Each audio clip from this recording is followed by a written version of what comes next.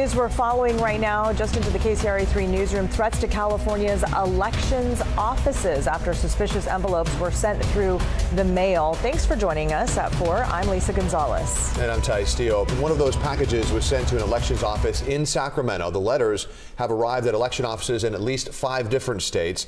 Some of those uh, envelopes have contained fentanyl or other substances. The Sacramento County and Los Angeles County registrars say suspicious letters destined for their departments were intercepted by law enforcement. Sacramento County says the envelope mailed to them was intercepted last night. The FBI and the U.S. Postal Service are working right now to track down whomever is sending these envelopes.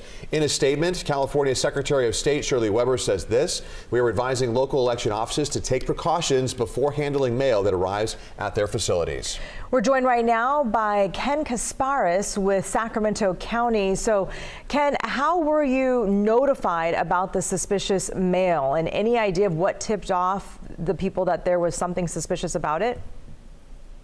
So yesterday afternoon or evening, actually at about six fifteen, we were alerted by the Department of Homeland Security that there was um, a suspicious uh, piece of mail headed our way. Um, thankfully, it was intercepted by the U.S. Postal Service before it could reach our office. Ken, so, where does the investigation go from here?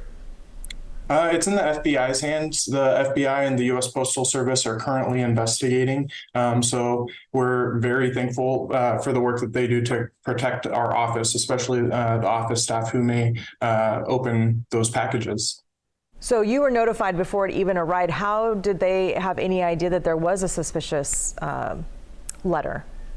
That's a very good question. I uh, I don't completely understand the ins and outs of uh, the Department of Homeland Security, um, but we're very thankful uh, that they have the uh, intelligence that they do.